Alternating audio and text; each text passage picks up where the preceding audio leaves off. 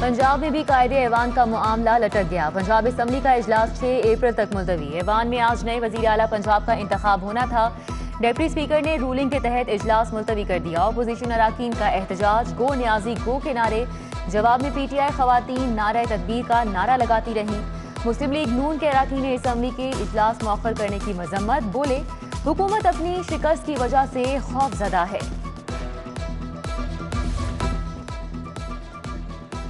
कौमी और सूबाई असम्बली का ऐवान तमाशा बनकर रह गया। आज मुल्क की तारीख का स्याह तरीन दिन है। उम्मीद है अदालत से आइन की बारादस्ती का फैसला आएगा। मुतहदा अपोजिशन के नामजद वज़ीर अला हमजा शहबाज की असम्बली में गुफ्तगु। बोले, आज जो भी कार्रवाई हुई है, वो गैर आइनी हुई। घबराहट का शिकार हो गए। खुद ही लीडर ऑफ़ दी हाउस के लिए इजलास बुलाया और भाग गए। हमजा शहबाज का कहना है कि अदालत उजमा के फैसले से आइन और कानून की हुक्मरानी होगी।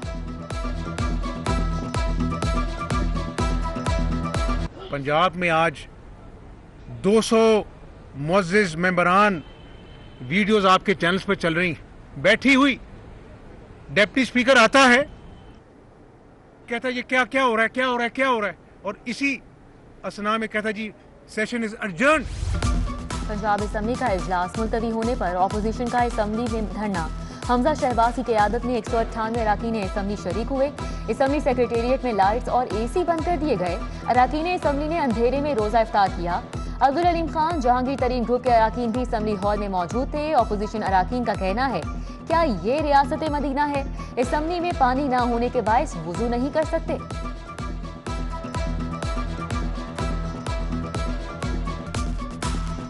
यहाँ पे लाइटें बंद कर दी गई हैं। यहाँ पर एसी बंद कर दिया गया है यहाँ पर बिज पानी बंद कर दिया गया है यहाँ पर रोजादार बैठे हैं यहाँ पर खातन बैठी हैं उनके लिए पानी नहीं है। छः तारीख को इजलास होगा साढ़े ग्यारह बजे। तो अब दोबारा इलेक्शन होगा। शोर शराबा सारा किया नून ने। देखिए ये हमारी पीटीआई के लोगों का राइट था कि अपने साथियों को वापस लेके आए। कि जो इमरान खान साहब की टिकट पे और पीटीआई के ऊपर इलेक्ट हुए थे तो उनको वापस लेने गए। तहरीक इंसाफ के नामजद वज़ीर अला चौधरी परवेज इलाही कहते हैं, हमारे नंबर्स पूरे हैं, हमें किसी चीज़ की ज़रूरत नहीं थी। पंजाब असम्बली के अहाते में मीडिया से गुफ्तगू करते हुए बोले तहरीक इंसाफ के लोग अपने अरकान को लेने गए। जब वापस लेकर आए तो मुस्लिम लीग नून ने धावा बोल दिया। चौधरी परवेज इलाही ने कहा कि 6 अप्रैल को पूरा नक्शा सबके सामने होगा, जब दूध का दूध और पानी का पानी हो जाएगा।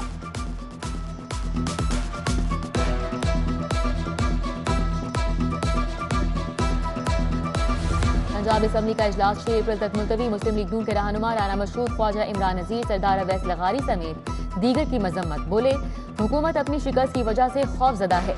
लीगी रहनुमा ताउला तारड़ बोले, पंजाब असम्बली का इजलास मुलतवी करना गैर आइनी है।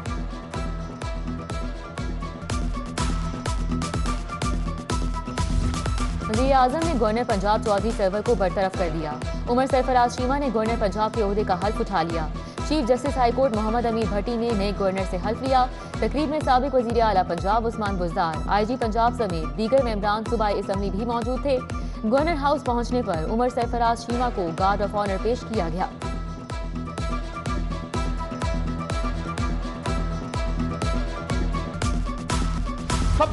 वज़ीर आज़म ने कहा कि असम्बली इजलास तीन अप्रैल के बाद होना चाहिए। असम्बली इजलास मुलतवी कर दें। मैंने कहा, गैर आइनी काम नहीं कर सकता। परवेज खटक मेरे पास कागज़ का टुकड़ा लाए। कहा, दस्तखत करें। मैंने अपने जमीर के खिलाफ दस्तखत किए। रात के अंधेरे में गैर आइनी काम किया, फिर बरतरफ कर दिया गया। चौधरी सरवर की प्रेस कॉन्फ्रेंस। कहा, कभी गालम गलोच की सियासत नहीं की। गाली दी गई तो ईंट का जवाब पत्थर से दूँगा। चौधरी मोहम्मद सरवर गवर्नर हाउस छोड़कर जाती गाड़ी पर रिहाइश का रवाना हो गए।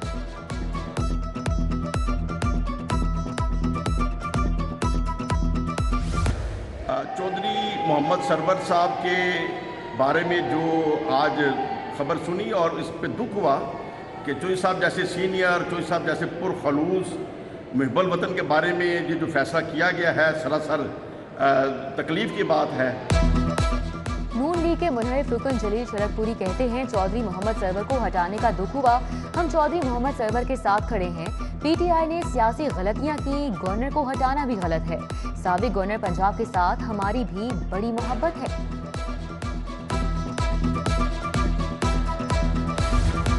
बदलती हुई सियासी सूरत हाल। खातून अव्वल की दोस्त फराह खान दुबई चले गए। फराह खान के खामन ज़मीन गुजर पहले ही इकतीस मार्च को अमरीका जा चुके हैं। उस्मान बुजदार की वज़ीर आला ऑफ़िस के स्टाफ से अलविदाई मुलाकात। उस्मान बुजदार ने स्टाफ मेंबर के पास जाकर मुसाफा किया। ऑफ़िस स्टाफ की खदमात को सराहा। बोले सबका शुक्रिया अदा करता हूँ। मोहब्बतों को फरामोश नहीं कर सकता। वज़ीर आला ऑफ़िस से खुशगवार यादें लेकर जा रहा हूँ, जबकि असम्बली स्टाफ ने सरदार उस्मान बुजदार के लिए नए ख्वाहिशात का इजहार किया।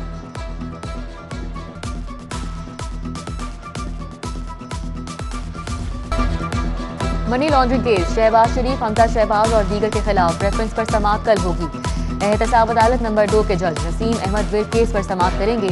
नए पे गवाहान अदालत में पेश होंगे। उधर मनी लॉन्ड्रिंग केस में एफ़ आई ए की जानब से शहबाज शरीफ की अबूरी जमानत की मनसूखी की दरख्वास्त पर समाप्त भी कल होगी।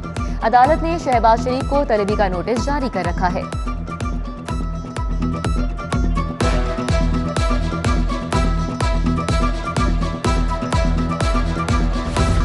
माह मुकदस के पहले रोज ही माह मुकदस के पहले रोज ही शादमान सस्ता रमज़ान बाज़ार में शहरियों का रश, सब्ज़ी, फल और चीनी के हसूल के लिए खरीदारों की लंबी कतारें लगी रहीं। शहरियों का कहना है कि जिन सब्जियों और फलों में सब्सिडी दी जा रही है, वो म्यारी नहीं है। दालों की कीमतें भी मार्केट की नस्बत चंद रुपए कम है। उधर रमज़ान बाज़ार इंतजामिया का कहना है कि आटा, चीनी, घी, दालों, सब्ज़ियाँ और गोश्त लाइन में लगकर ही मिलेगा।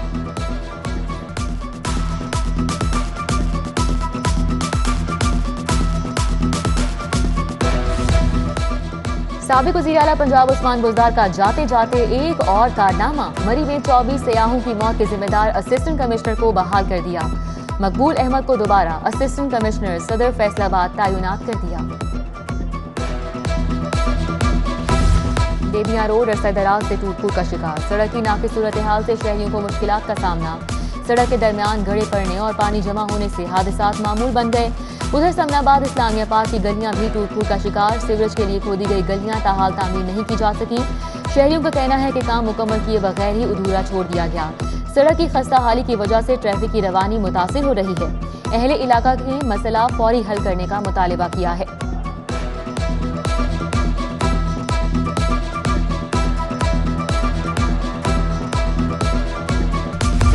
कैंट और वॉल्टन समेत दीगर इलाकों में बिला तातुल बिजली फराहमी के लिए ग्रिड स्टेशन का अफ्ताह लेस्को चीफ चौधरी मोहम्मद अमीन ने फीता काटा। General manager technical Azizur Rahman.